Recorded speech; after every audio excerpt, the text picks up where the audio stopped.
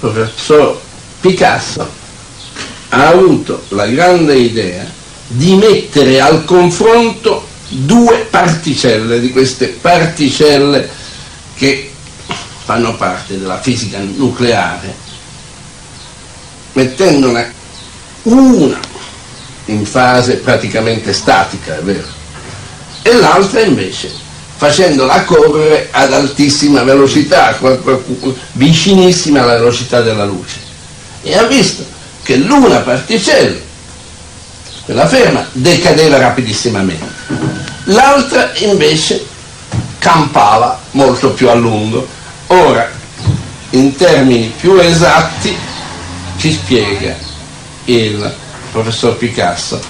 Allora l'esperimento consiste nel confrontare la vita media del muone a riposo, cioè a velocità quasi nulla, con la vita media del muone che decade in volo, cioè che si disintegra in un elettrone e in due neutrini in volo, quando questo muone ha una velocità prossima alla velocità della luce. Si tratta quindi di confrontare queste due relazioni, questi due intervalli di tempo e vedere se veramente si comportano secondo la legge predetta da Einstein.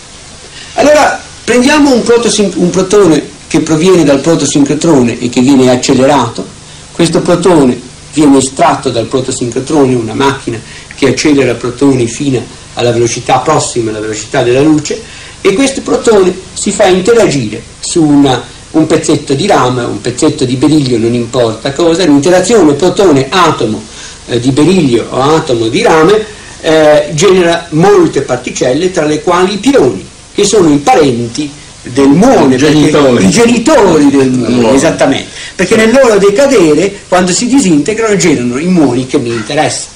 Come dicevo prima, questi muoni hanno carica sia positiva che negativa. Allora, questi muoni generati si, fanno, si introducono in un anello di accumulazione in cui la velocità, e la velocità dei muoni corrisponde a questo valore che aveva scritto, e stanno lì e girano. Ci sarà un certo momento, questi muoni decadranno. Uno decadrà, per esempio, il muone decade, scusi, in elettroni e due neutrini, il muone che decadrà qui genererà un elettrone che sarà misurato da questo rivelatore di elettroni, il muone che decade qui genererà un elettrone che sarà rivelato da questo eh, contatore, di questo rivelatore di elettroni e elettroni e così via. E si misura quindi, partendo dal tempo zero, t, dal tempo t uguale a zero, l'intervallo cui, di tempo che il muone ha passato prima di decadere eh, eh, quando si trovava a questa velocità qua.